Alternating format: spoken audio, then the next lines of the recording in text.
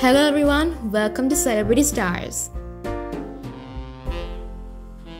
The pop queen Madonna was spotted with the Nigerian musician Rema's concert at New York City with her new boyfriend who is a 23-year-old model, Andrew Darnell.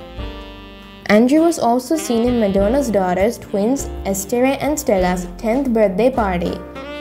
They both posted pictures on their Instagram too.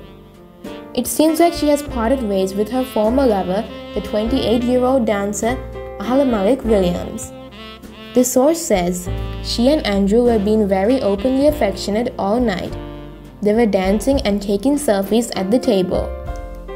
Madonna was first seen with the model when they were posing for a photo shoot for Paper magazine last month.